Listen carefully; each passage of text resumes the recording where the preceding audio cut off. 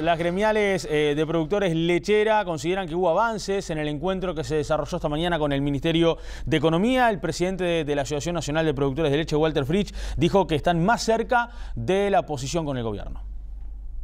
Las gremiales de productores lecheros, el Instituto Nacional de la Leche, autoridades del Ministerio de Economía y técnicos de OPIPA comenzaron a trabajar en la instrumentación de un préstamo vía Banco República destinado a los productores del sector categoría 4 y 5, que había quedado fuera del Fondo de Garantía para Productores Lecheros. Esta herramienta facilita la refinanciación de deudas del sector. Obviamente que no hay eh, resultados este, eh, ya confirmatorios, porque esto es un proceso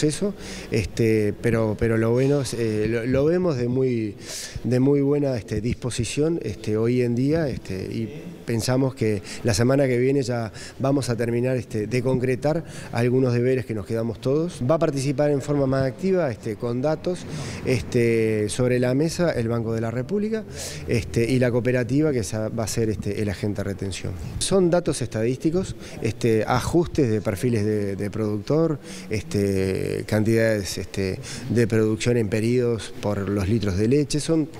cuentas este, en donde, bueno, en, sobre las cuales este, se tienen que tomar las decisiones.